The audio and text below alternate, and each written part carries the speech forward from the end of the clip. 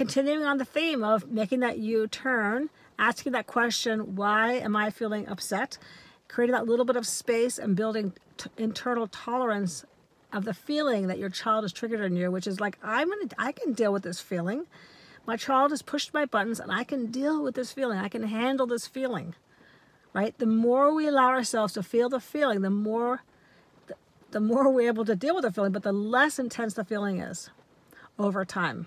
But then when we, we immediately react, one of the things we're doing is we are saying to ourselves, our protectors are saying, I can't handle this feeling. So we have to manage our child. But making the U-turn, when you make the U-turn, ask yourself what's really going on. You are connecting to yourself. You're, you're talking to yourself. You're having a relationship with yourself first.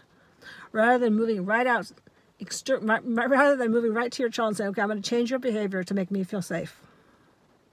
Talk tomorrow. Bye.